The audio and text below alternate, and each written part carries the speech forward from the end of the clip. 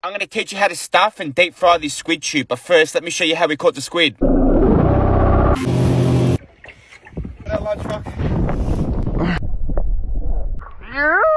Thank you.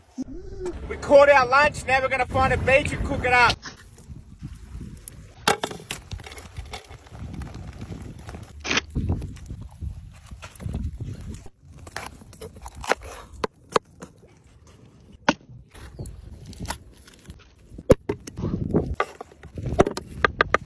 Get out of it, Rock.